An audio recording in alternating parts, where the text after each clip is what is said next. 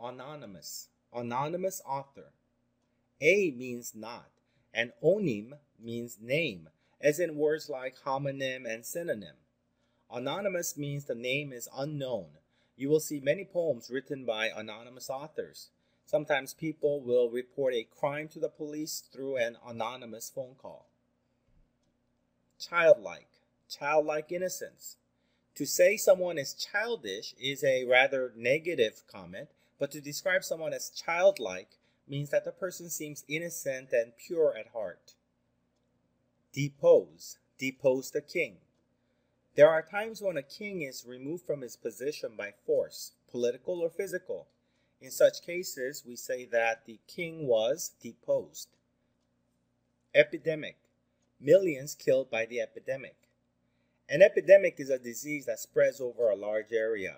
The mad cow disease and the Asian bird flu are a couple of recent epidemics. The word can be used to describe social problems as well, such as the epidemic of gang violence in inner cities. Haughty, haughty cheerleader.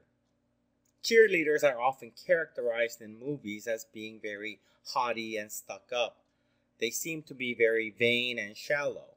Of course, this is not always the case in real life. Intelligible, intelligible sounds. This word is normally used to describe someone's speech. It means that the speech is understandable.